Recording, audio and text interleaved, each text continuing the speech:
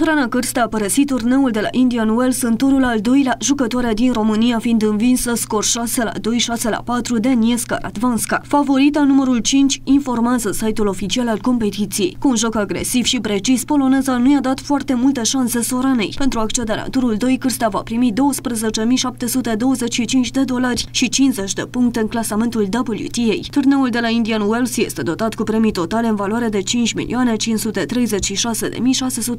5.536.664 de dolari.